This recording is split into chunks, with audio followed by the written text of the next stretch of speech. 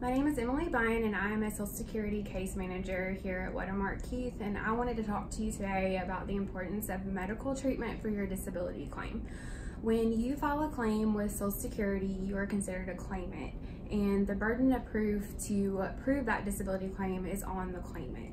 And so the way to prove that medical conditions and those disabilities is by getting medical evidence for those disabilities. The way to provide that medical evidence is by getting proper medical treatment for those physical or mental health conditions from your physician. So the biggest thing to know about that is making sure that you're getting that ongoing treatment for those conditions and also that you are following your physician's recommended course of treatment for you. So that would be uh, listening to the instructions as far as prescriptions and how to take those, uh, therapy if they're recommending that, or just uh, just going to those recommended doctor appointments.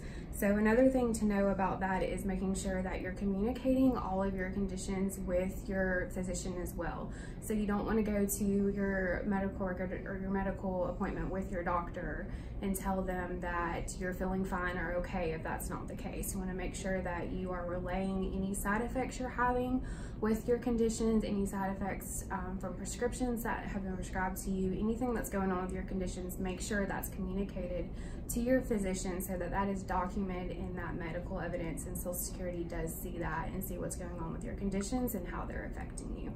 So one thing that uh, becomes an issue when you are no longer working is not having health insurance in order to get that medical treatment. There are plenty of resources out there for you to obtain that medical treatment. The biggest resource you can look into is by dialing 211 from your phone. That'll put you in touch to the Metro United Way and they can tell you about any free or low cost clinics that are in your area.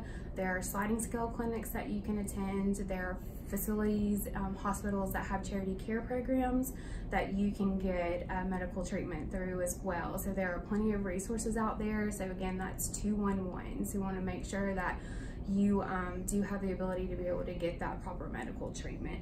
So again, I just wanted to just uh, show you exactly what to do with your medical treatment for your uh, disability claim. If um, you have any questions, we'd love for you to contact us here at Wettermark Keith. Our phone number is 800 309 0500 or wkfirm.com.